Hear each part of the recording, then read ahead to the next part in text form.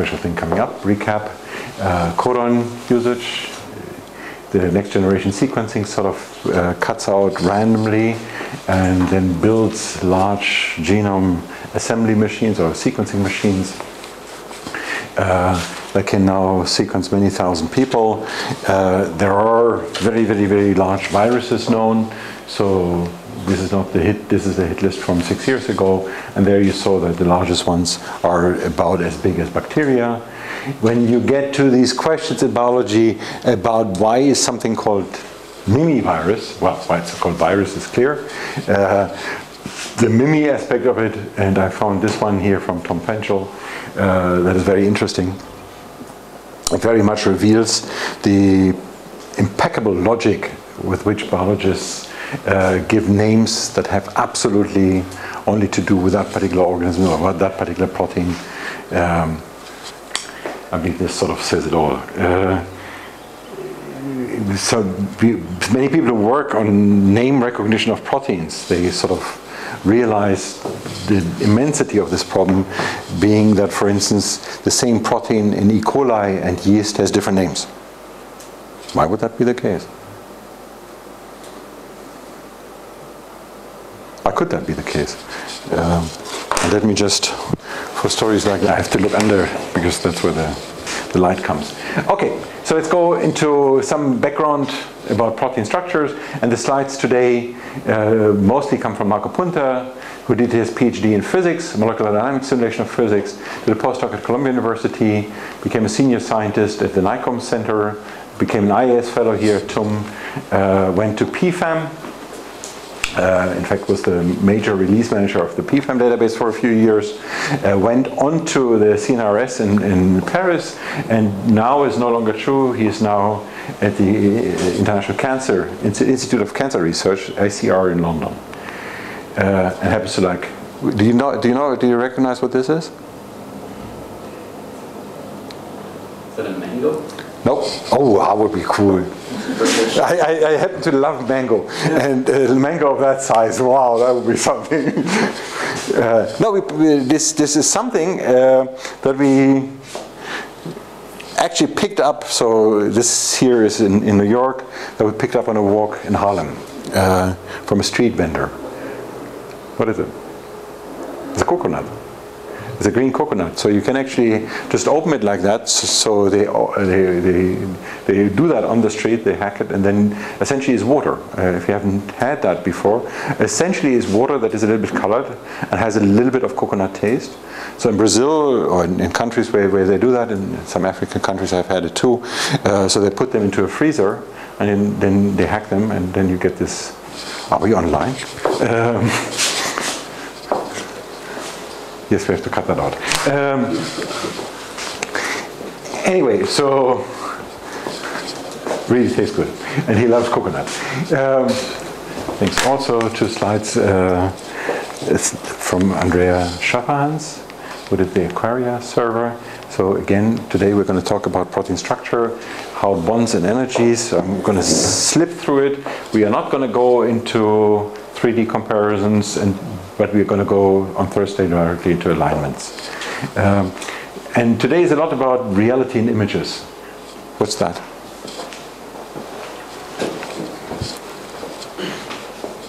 Any association? I mean, unless, so for those of you who are new to my lecture, if you knew the answer, it would be boring, right? This, this kind of questioning is for you to come up with association or guessing or intuition, scientific intuition. That is what these questions are about. This is just a painting, like in a, so it's really only association. What is it? What do you associate with it? Nothing? Uh, houses on hills, like maybe like a little village some trees going through it. That's exactly, I believe, what it is. Georges Braque, houses, uh, L'Estaque, village, trees, uh, mountain hills, exactly, right? Uh, that is an image of a cell.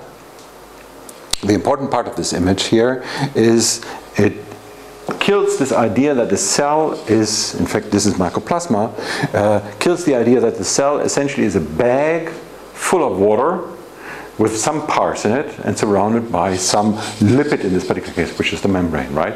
Cell is not that. It's very densely packed. So you think about a cell more like a watch, right? Everything interacts really in a touching way.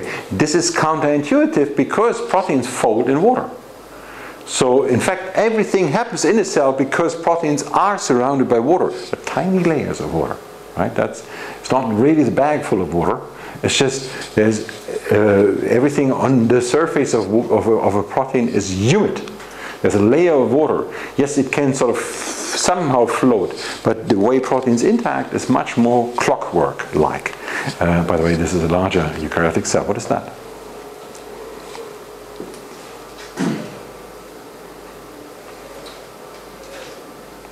As an object. They're still looking. Shoot. Look, come on. Protein with a couple domains. It looks like Cool. by domains red. Yes, to- totally, totally close. Uh, what you still don't quite understand, uh, see, so every sphere here is an amino, is an amino acid, is a residue. Um, now, what you don't quite see is the symmetry of the object. So you say domains or units. Uh, if I showed you a slightly different representation, just the same image, the same, not the same image, the same protein underneath with a slightly different coloring. That's all that changes here. I have the same coordinates. All I do is I put rods in particular places. These rods here represent helices, particular segment structure segments that we talk about uh, again and again in the lecture later. Uh, but these rods immediately show you the symmetry. So you immediately suspect that in fact what you see here is two somehow similar subunits. In this particular case, they happen to be identical. Identical as in this case of the alcohol, dehydrogenase, ADH, where you have in fact these two units here that come together and they are a homodimer means you have two identical subunits, two identical versions of the same proteins coming together in order to be functional. So you need the same thing twice, okay? What's that?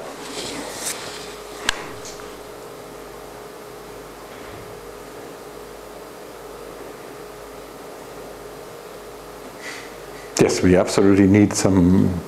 Uh, this is not a pro, not not directly uh, obvious what it is, so we need some association here.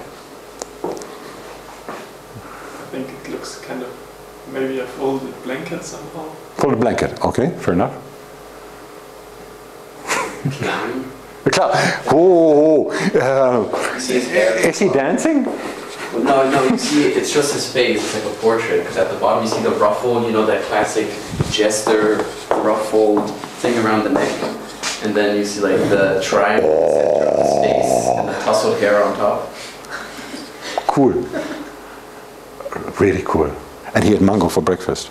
Yeah. This is really cool. Uh, okay, something else?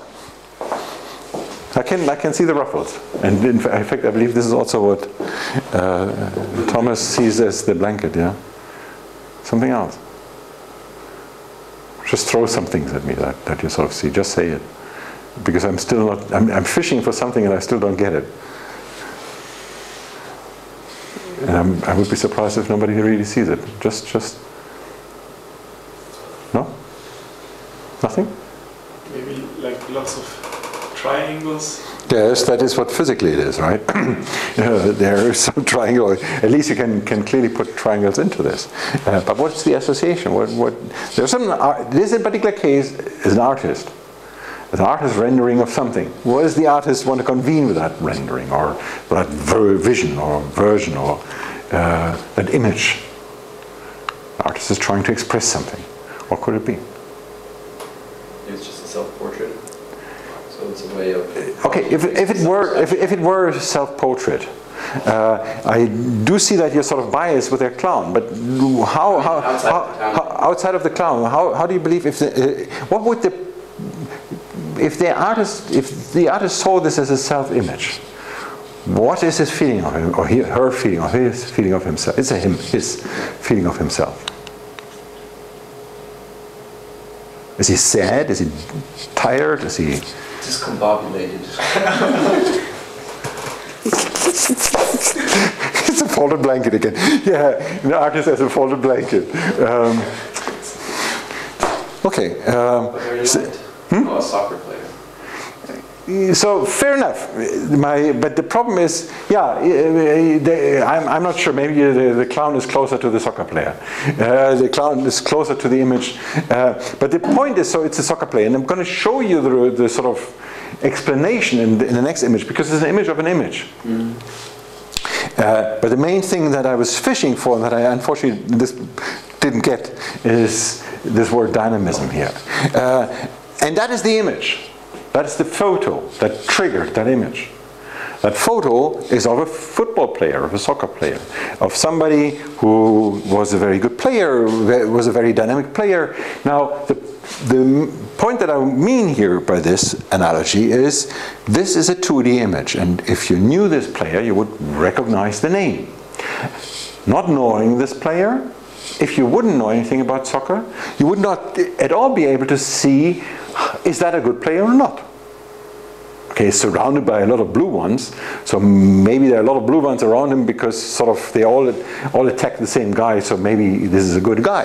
But what you absolutely do not see in this frozen image is the degree to which he moves. And that, I understand in this room did not go through very well, but in many groups, this image sort of people talk about explosion, talk about energy, talk about fire, talk about some movement, talk about something that is not uh, frozen. The blanket idea is, is frozen. Uh, and this image would portray for some people, so is the association that many people have from this, is energy, is dynamism. And that is not quite what is in there. So you may argue this is reality because this is clearly a 2D image and you recognize the name of the guy. But it does not allow you, if you don't know anything about football, to recognize that it's a game that has a lot of movement or has a lot of energy. While this one, if somebody said, this is the title, okay, maybe you would have recognized that there is some sort of fire energy in this game. Uh, and okay, soccer, so you know, fire over soccer. So the, the artist believes that soccer is in a dynamic play. And that is in there. Uh, and it's not in here unless you know something about soccer. So what I'm trying to say here, those are two different realities. None of them really is a reality. Those are two different images of reality. What is the real reality? None of those gives the real reality. Both of those are images. Both of those are focused on different aspects of the reality that lies underneath. And the same is true for proteins. In this particular version of a protein, I look at beta strands, these arrows here, and I have, in fact, one arrow for every single residue. What I show in this one here is an NMR structure, an NMR structure, nuclear magnetic resonance structure, where you, in fact, do not have one structure, but you have one, two, three, four. So every trace here is one different structure. And you see that some places there's a lot of difference, and some places they all fall into the same strand here. So that tells you something about where the protein moves more up here, where it moves less here. Okay? So this is a different version of the same image. This is it, both of those give you different aspects of that reality. Okay? Uh, and this is what I'm trying to make the point here uh, that whatever we look at on the following slides, I'm going to show you a few ideas about energies. They are, as well as these images, just approximations. The energies that we see are not reality. They are images, they are simplifications, okay? Just like those images, like photos. Uh, and none of them really reveal the truth. The constituents of proteins are amino acids. Amino acids have a backbone, they have a side chain. Uh, you join them together by essentially bonding the side chain in a so-called peptide bond. Uh, that's a covalent bond. And in fact, for this bond, again, you have an attractive and a repulsive force. How do you picture this? You can picture this as sort of these uh, spheres that are separated by something in between, that is the bond. And then you can sort of picture them as large spheres that overlap. So the bond, it's something that is inside these overlapping spheres. And you can picture it as sort of this bone thingy here that is surrounded by these electron density maps that illustrate essentially where the electron is moving. right? So this is a probability graph, uh, probability for finding the electron, which essentially also, the probability graph is the, we picture this, or we imagine this as the movement of the electron.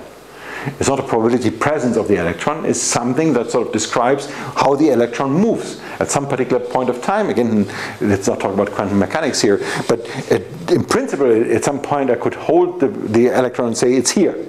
And then it's here, it's here, it's here. Again, I cannot do that uh, because of the Heisenberg principle. But uh, that's not the point here. Those are different versions of reality again polypeptide chain is formed by sort of uh, putting up these uh, backbones or connecting these backbones, uh, having the side chains, and when you build up the chain here, what you see is these side chains are the ones that sort of stick out.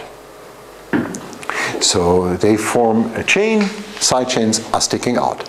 Uh, the way they form chains is there are particular planes, so you move particular planes with respect to one another. And that brings us to this idea of the chemistry again. In the uh, covalent bond, what we see is we, we have the electrons that uh, repulse each other, the protons that repulse each other, the electrons and the protons that attract each other. So you have a bunch of uh, opposing forces that are joined into some sort of simple potential, or we perceive that as a simple potential. There is some point where the attraction is the highest. Beyond that, you have the positive repulsion. Uh, above that, you have the attractive force, and that is why there is some sort of optimal length. And within that optimal length, you will see some movement. Okay. Um, for the double bond, the energies are slightly different. Uh, the way they are oriented is slight, are slightly different. And there are sort of polar bonds where you have one side of this bond being uh, charged uh, positively, one side negatively, uh, forming a dipole that again leads to an attractive force. Ionic attraction would be essentially the closer you get, the closer you are. And then we sort of have an non-bonded Lennard-Jones potential where you essentially have a potential that looks like that. Uh, the terms of size, the unbonded part is here, the ion interactions are here, hydrogen bonds are here, so this one tenth of sort of an ionic bond. Uh, there are salt bridges that actually have both, they have ionic and uh, hydrogen bonds in it, and then pi-pi interactions. Uh, oh, uh, this should have been one slide, I'm sorry for the animation. There are, in fact, metal complexes also forming. Uh, I wanted to go through this much faster than I have the animation here. Uh, ultimately, all of this leads to features. So we are putting features on particular biophysical features on particular amino acids because we think about the energy underneath the interaction. Features could be positive charge. That's the simplest kind of feature you can attach to it. So uh, lysine and arginine are two positively charged residues, that two negatively charged residues glutamic and aspartic acid. Uh, and then there are a few polar residues. Uh, again, so there's, there's a split of the positive and the negative parts. Uh, what I'm missing on this one here is the animation for the hydrophobic. The hydrophobic hydro water uh, stay away from it. So essentially hydrophobic residues are the ones that try to be inside of a protein. Hydrophilic phil is friend uh, are the ones that try to be next to water because on the outside of a protein is water. And then ultimately the way you see that is a protein essentially on the outside has a hydrophobic hydrophilic residues. On the inside hydrophobic residues. So the inside sticks together. The outside wants to be close to water right? Uh, now I said you take a protein, you throw it into solvent, it adopts a unique three-dimensional structure. That called, is called folding. That step, how long does it take for a protein to fold? So you take a typical small lysozyme, uh, small protein, you throw it into a solvent, it adopts uniquely its three-dimensional structure all by itself, doesn't need anybody to help them. How long does it take? Ballpark. Any idea? If I told you it takes days, would be happy with that?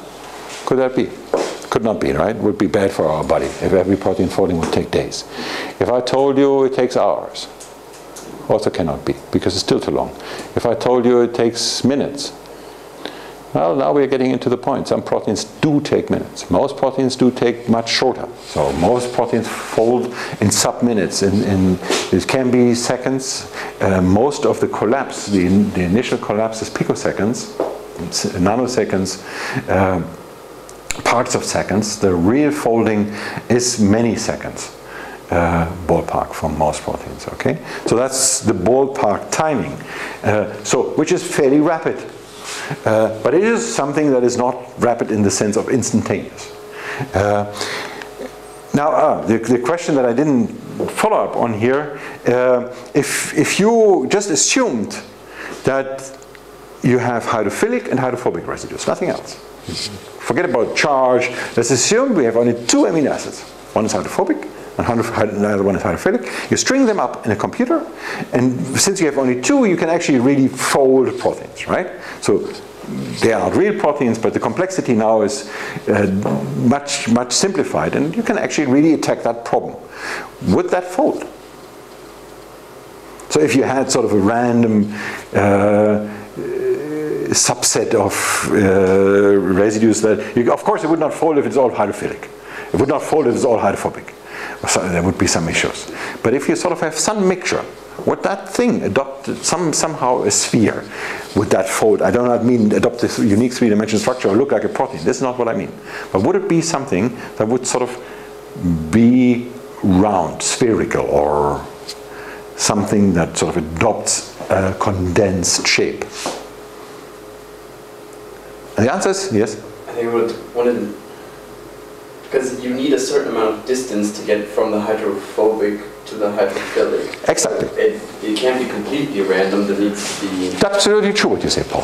So, but then my, my question was more more generic. Would you need any additional information? And you saying your answer to that is one way to read your, your answer is to say, well, you need somehow a fraction. So you need somehow to speak. You cannot have uh, a philic phobic. I know what. Well, if you like five phobic, one philic, five phobic, those would all concentrated from the center, and the one philic would be completely out of place. It try to go to the outside, but it's completely surrounded by phobic. It would push it.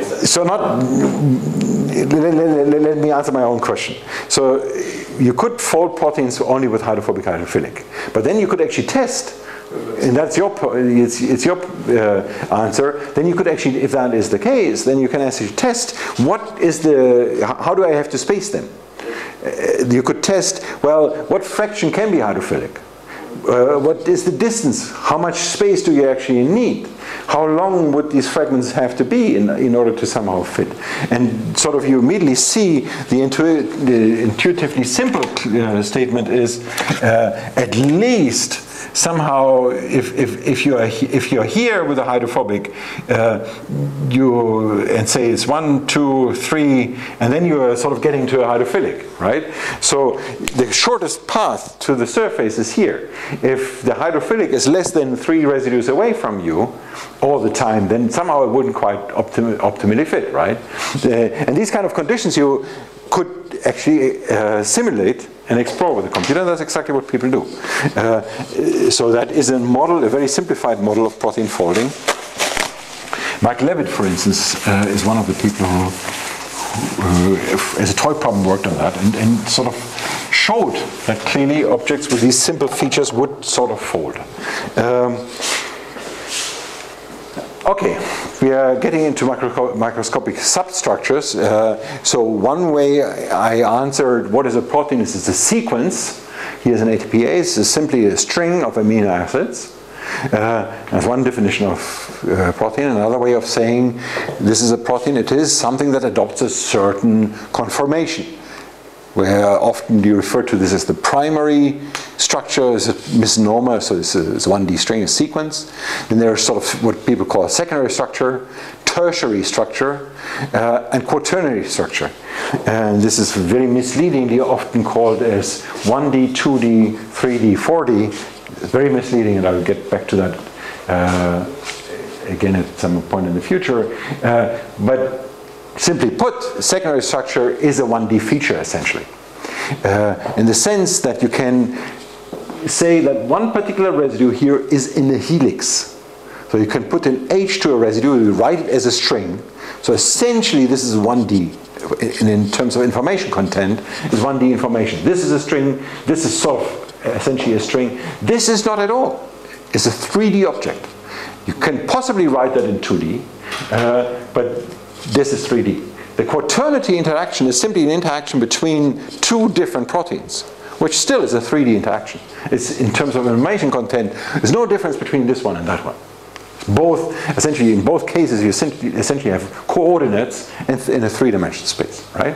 Um, but anyway, so uh, proteins have these sort of substructures, and again, secondary structure is the simplest. Uh, they are formed through dihedral ang angles, and the, dihedral angles are such that you form this alpha helix, alpha. Uh, why do you believe it's called alpha?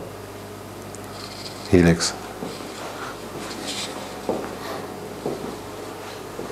There was somebody called Linus Pauling who uh, published a bunch of papers in PNAS and essentially he had an index or counted the structures that he proposed, the secondary structure, the alpha helix, the beta strand. Uh, so essentially he had alpha, beta, gamma, delta, and he proposed a bunch of secondary structures. Uh, incidentally, uh, two of those are the ones that we know today. Um, and two of those got him the Nobel Prize. There were others that he proposed that have never been observed, that do not exist. Um, right. Uh, if, if, if, two of eight are right, you get a Nobel Prize. Um, so we have to really say he predicted them before anybody had ever seen a protein structure, right? So it was a remarkable achievement. Um, anyway, the beta strands are forming so-called sheets uh, where this is one piece of the chain, this is another piece of the chain that forms hydrogen bonds between them. Uh, in this particular case, can you see the secondary structure? Can somebody tell me whether the helices, beta strands, both, none of the, the two? It's really complicated. If you sort of show the chain with less detail, all you do now is instead of having one ball or uh, a bunch of balls per, per amino acid, so all you do is the backbone position, and you begin to sort of see shape. You still don't quite necessarily, well, you begin to see this is sort of a helix, maybe this is sort of a helix. Uh, now maybe you need a little bit more of an eye to see more, but all you now need to add is a little bit of coloring, and you can convince yourself immediately, ah, yeah, right.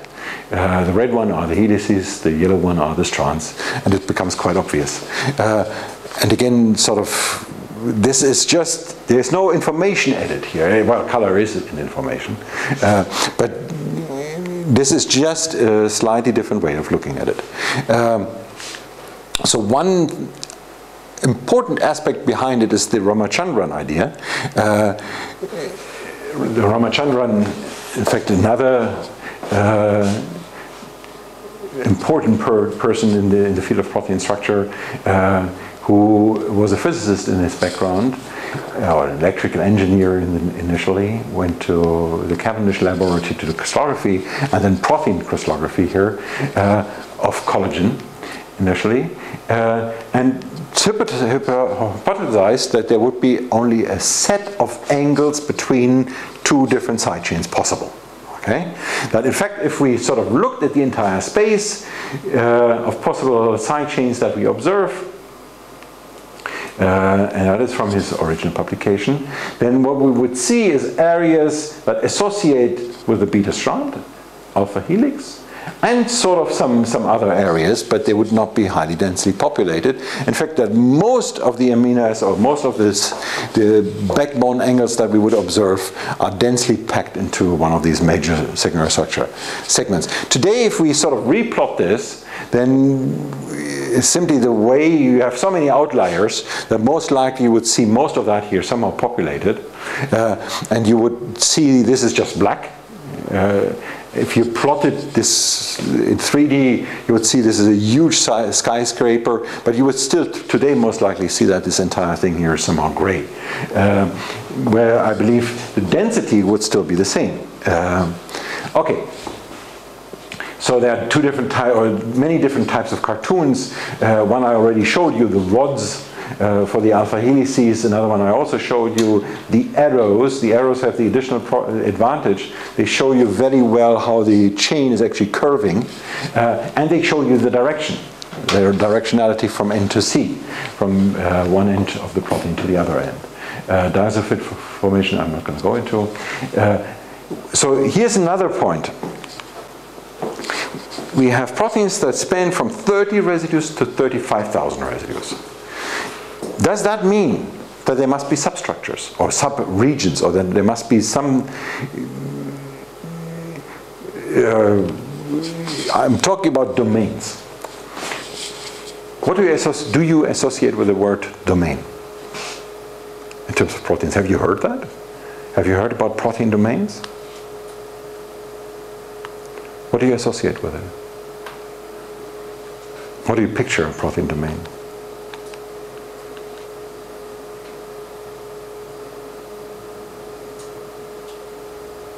Of a protein where either the function, the structure, uh, or the sequence is conserved and where it seems to depend a bit on the field you're in. Different fields seem to have different preferences there, or all three of them, or just two? So let's begin with the, with the, with the last thing you said, Kira.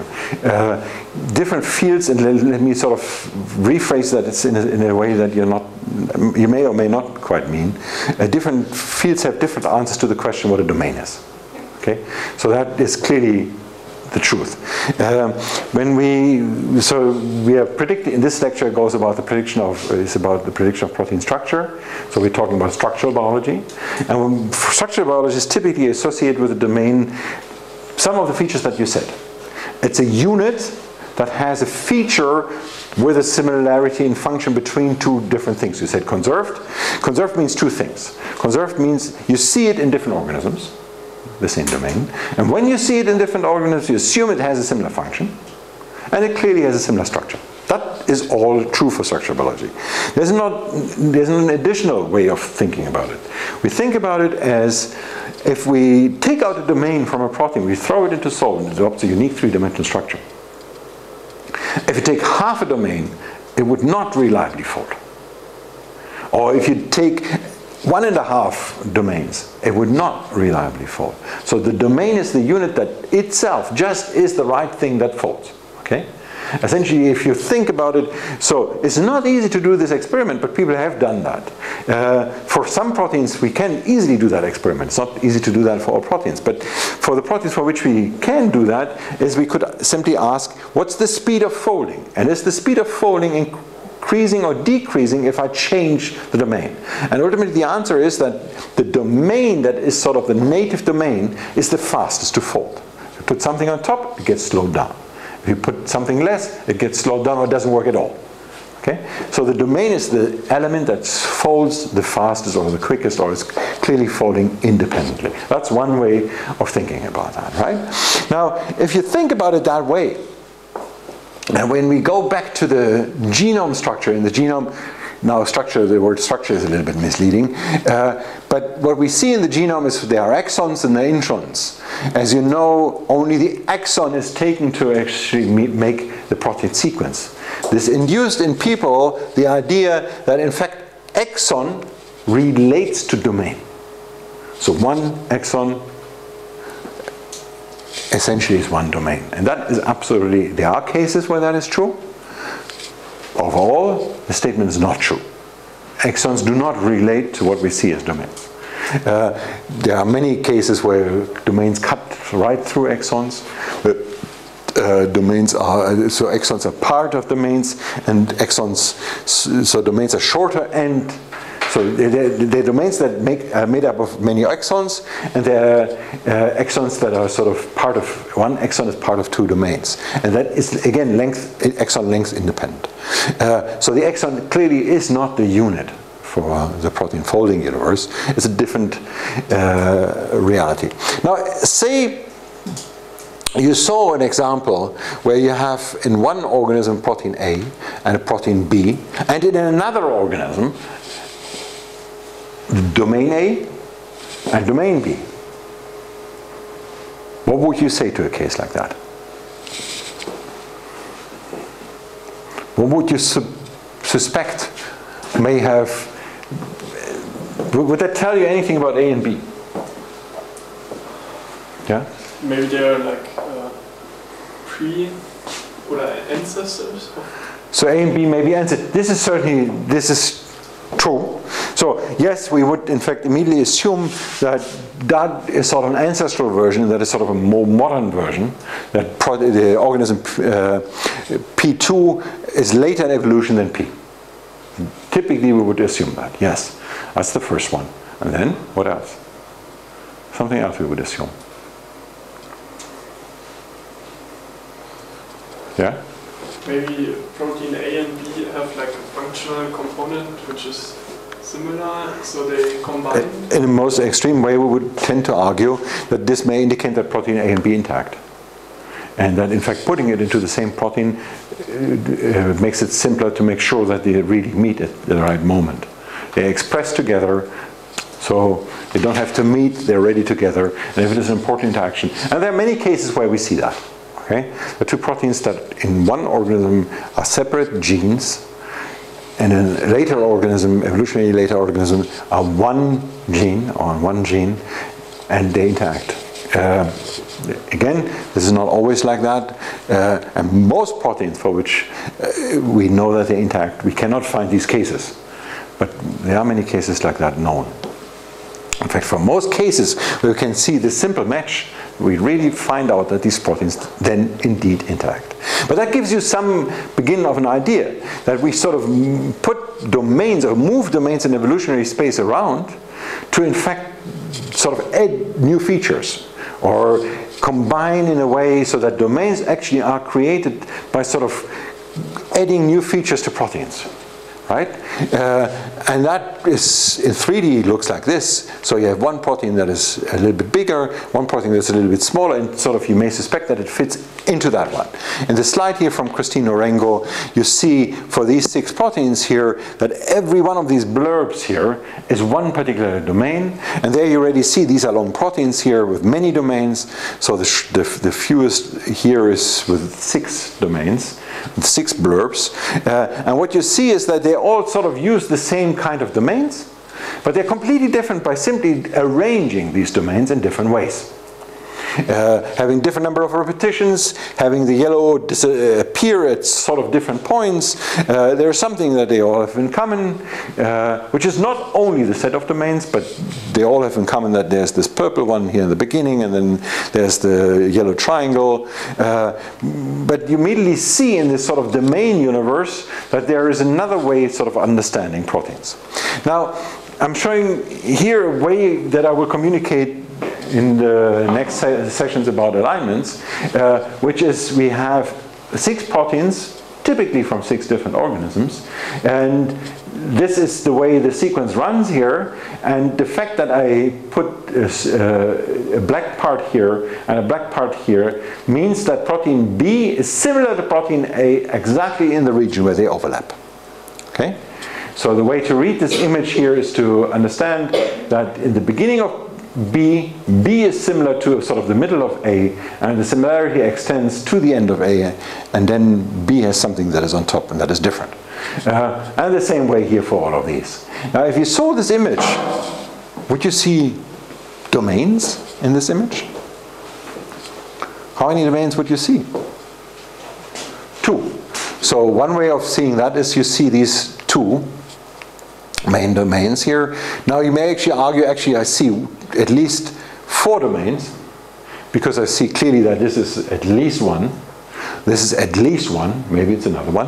Uh, and now maybe we even see five because there's something in between. Now there's something in between here. Could be an additional loop. It could just be something that is actually a small, small, a short embellishment or a small addition, a short addition, but not something that if you cut it out, it falls on itself. Okay? So we don't quite know. We, but at least it gets you an idea how from these images we sort of could find domains. So this, this could be that one, that could be that one. In fact, they could even be similar to each other. Um, now, when we look at this image and try to sort of build uh, domain, domains from an alignment of all proteins against all proteins, unfortunately, we often see that it's a little bit more like this So that you cannot quite see where the cut is, because here you cannot see at all where the cut is, right? Uh, because everybody sort of adds a little bit, there's nothing that all have in common. This is, we see, what I call dream here, is something that we do see in nature, and lots of it. And we construct a lot of domains from it. But in many cases we see something like that. The larger the database grow, the more we actually see these ladders. Uh, and that is sort of a limit to, to what we can do by staring at evolution. Evolution did it, we just don't quite know how to interpret it right. Uh, so if that image really is completely the truth, then maybe evolution does not move in terms of domains. Uh, and then once in a while sort of hits on a domain and then we create a new domain but actually the way it moves is in, in, in tiny fragments that are not really domain like uh, the image is out um, so longer proteins are rarer than short ones so the way this, this statement is made uh, clearly is true uh, is it true that prokaryotic proteins are shorter than eukaryotic proteins. This is, for instance, a statement that you commonly hear. Uh, not only commonly here but also find in textbooks. Uh, so this is an old image, uh, it's now 19 years old, that eukaryotes are blue, uh, green are prokaryotes, uh, red are archaea, you see archaea and prokaryotes are sort of similar. You also see that essentially most of the bulk where prokaryotes and eukaryotes are is the same. So the eukaryotic and the prokaryotic bulk all sit somewhere in this sort of sub 500 residue part. Most of them are somewhere here. And most of them, here is the, the 500 residue point. You see 70% uh, of the eukaryotes and 85% of the prokaryotes, roughly, or 87% of the prokaryotes, are in that realm until 500. All of this. Now, the biggest difference really is for the very long ones. For the very long ones is the ones, I don't know, wherever you put your, your hand, longer than 1500, longer than 1000. Uh, for the eukaryotes, this number, longer than 1000 residues, is about 70%, 7% of the genome. And for the prokaryotes, it's sort of 1% of the genome. So there is some important difference, but overall, for most of the proteins, eukaryotes and prokaryotes, in fact, do not differ in length. So this issue that I showed you before, that you put two proteins together and then you gain something in evolution, while it is true, it's not something that we see. It's not that later in evolution means longer, okay? This is clearly what this one shows. Um, some proteins are multi-domain, uh, most are not. Is that true?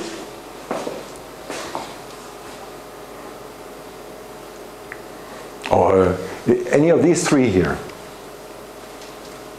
Is any of them true? Are them all true? Is none of them true?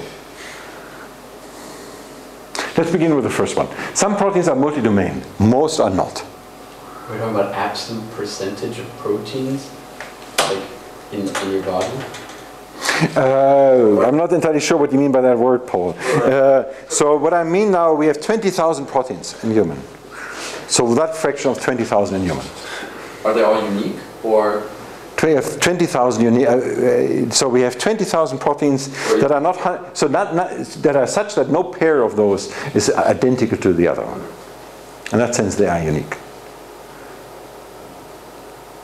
And if we looked at the 150 million in uh, PFAM, would essentially most of those have one domain, or would have most of those have more?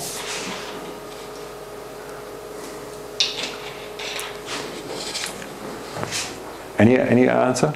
Uh, most multi-domain proteins have more than three domains. No. Uh, there are more proteins with three domains than with one.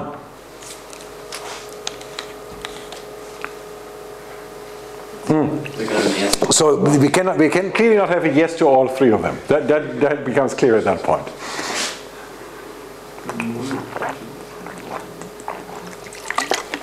Can anybody throw their weight into any of those? No. Okay, let's look at some answers. Uh, so how to identify domains. So the way we did it initially here, and there's still no clear, clear solution for that, but essentially that's what people do, is first you look at all the proteins for which you know the three-dimensional structure. So if that is your protein here, you want to cut it into domains. First you align it to something where you know the three-dimensional structure of. From three-dimensional structure you know the domain because it's the most compact subunit of the three-dimensional structure you cut. Then there is uh, a fraction where you know from PFAM that is a region that has an independent function that is used often in evolution. You assume this is sort of similar to, to a structural information. I don't have structural information here so I cannot use it, but that's the second best thing I can do because people actually have hand curated these families and know where the function is, so we cut.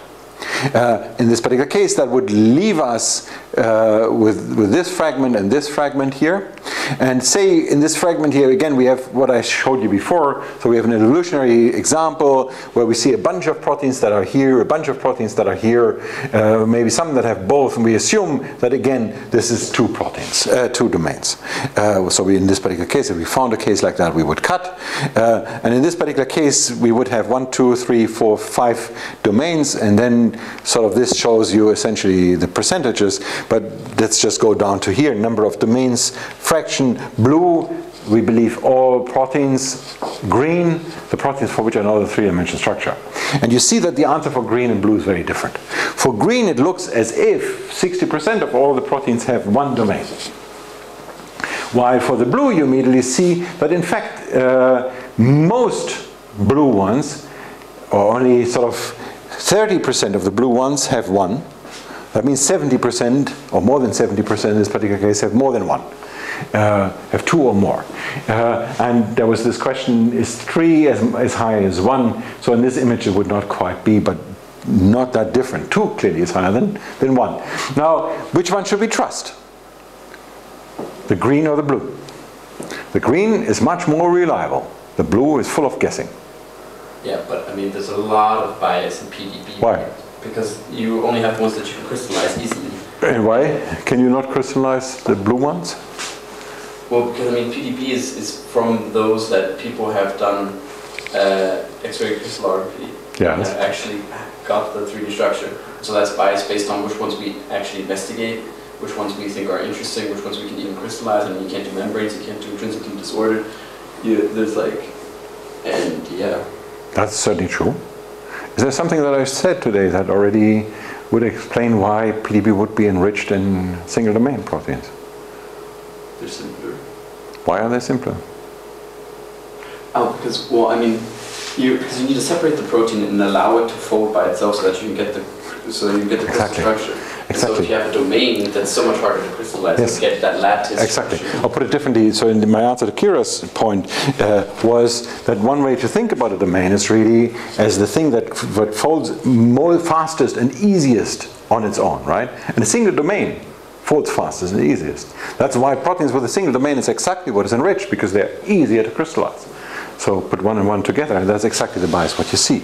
Uh, you, you do see more in the PDB of things that are easier to do. You also see more of the things that you find a lot in evolution. And again, these are the things that you find a lot because we assume uh, they, they are folding so quickly that it's easy to put them onto many, many different proteins, and that is an advantage to repeat them in evolution again and again. Uh, and that means that the ones we have in the PDB are also the very important ones. The ones in the PDB are the ones that most likely make up most of the space. That's another way of looking at it, yes? I mean, well, that's the follow-up question. So what does it look like, not percentage of all proteins, but percentage of like mass in a, in a human body? No, that in fact I, I do not know. I do not know the answer. To, I have not. I have not. I have not seen that, that the answer to that one. Uh, but this is also not quite giving. So um, when when we now ask, so this is uh, every domain counts once in this image, right? Uh, now you could sort of uh, count the domain again. You could say if a protein has 50 versions of that, I count that domain 50 times and look at the sort of the frequency per, per domain. And that would also look very different. So you're really talking about, I have heat shock proteins, a lot of these. I have other proteins that are ubiquitins. There are some proteins I have much more frequent than others. And I do not know how that would map to the domain. But even the first one that I, uh, that I told you would look very different. Because, in fact, we know that the, um, these, these sort of completely biased one domain things here map to almost half of all the sequence space. Okay, that's one way of saying that. Uh, so these are the most popular ones, or the anyway. Okay, but there clearly is most proteins have uh, clearly more than one domain. Uh, this one was not true. Uh, this, there are more proteins with three domains than with one. It's not quite true. I made a mistake here. Uh, three is smaller than than one. Uh, I have to correct that.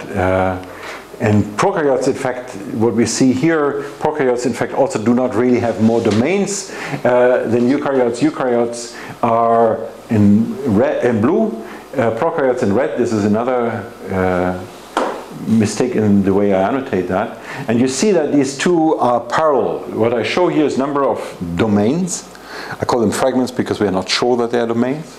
Uh, and here's an average length of each of these fragments. Uh, and what you essentially see is that the way they enter the one is different between blue and red. But the way the, the slope is between blue and red is the same. So that essentially um, there is a sort of first, if you think about it this way, there's one domain that is longer in the blue than in the red. But once you have this sort of one thing that is longer, the seed, so to speak, all domains that follow have, on average, the same length. And in fact, surprisingly, so the first thing is, the first domain is a few, 250 to 300 residues long, while all subsequent domains are about 100 residues long. So that, putting these together, means that most domains actually are about 100 residues long. And that, in fact, is what we really believe. Uh, uh, okay, now, whoops, what was that image? But I always thought the average length of a protein was 300 residues. Yes. For eukaryotes. So doesn't that imply that the average But- protein has three domains? Um,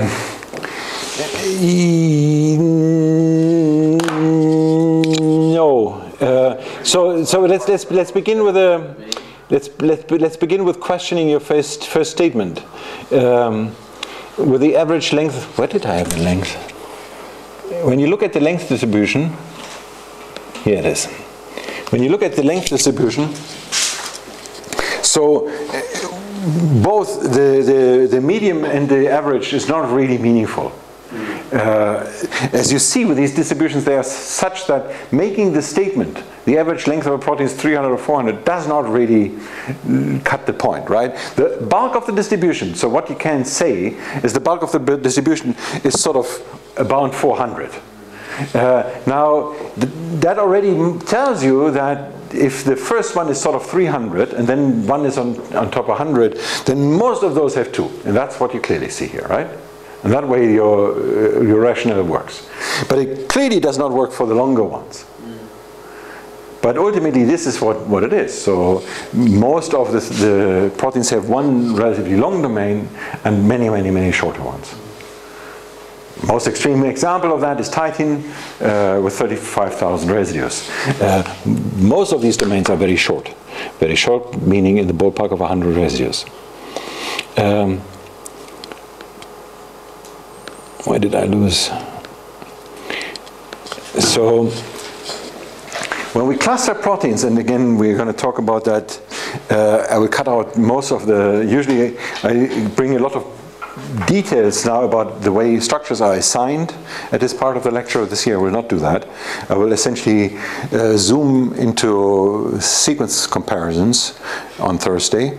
Uh, and what sequence comparisons actually do is they, they define a distance between all protein pairs using only sequence. You could also do that by using structure, right? You can compare proteins according to their 3D shapes uh, or using only the sequences. Uh, and then essentially you would get sort of a map, you would a distance map. Uh, that distance map is not really giving you proximity, but it gives you distances. Uh, sorry, it does not give you distance, it gives you proximity. So you can say everything that is similar to something, but you cannot really say what is not similar. Uh, but ultimately in this map, the next step is clustering. Clustering means you put sort of areas around it and you say these belong together. And this statement belongs together ultimately is something that is biology. That's an interpretation. Okay? We measure sequence similarity and then we sort of see that things that have a similar sequence also have a similar function, have a similar structure. And that then I would call biology. Now, there is some sort of grouping that you hope would be existing throughout, no matter what you do. So has a similar, if the, the, circle is small enough, then they will always have a similar function, similar structure, and similar, similar. And that is not quite true. Okay? Uh, so that really depends on what the fragment is. You can add a loop and you can change the function. You can add, we can change one particular residue and knock out function or structure. Uh, so the grouping always clearly is uh, biology on it. So cells are densely packed, have an inside and an outside, have a membrane. Uh, proteins come on different scales and different function. Uh, in this, so it's a slide from Natasha Wood here. Uh, there's a glycoprotein here from the HIV, uh, the HIV envelope, and the glycoprotein is trying to recognize the, or the CCR, the receptor here is trying to recognize the HIV virus to act. Uh, and in particular, it recognizes a particular extension, a loop. This loop in our language so far, those are domains here. This loop is an addition. This loop has nothing to do with the domain. Uh, and so far we talked about function being related to the domain. But now the recognition is something that is related to the loop, which is not part of the domain which is an addition, is an anchor, is a, uh, an addition to that protein. And that part, changing that part, in fact, is exactly how the, the virus is escaping the immune system. So recognizing these loops is what you try to do. Uh, in particular, this one, particularly v, the so-called V3 loop, and the V3 loop. Uh, again, uh, has binds to glycans and this binding to glycans has to do with the sequence features, and that is what people try to sort of attack uh, with a drug. Okay, Peter Strauss.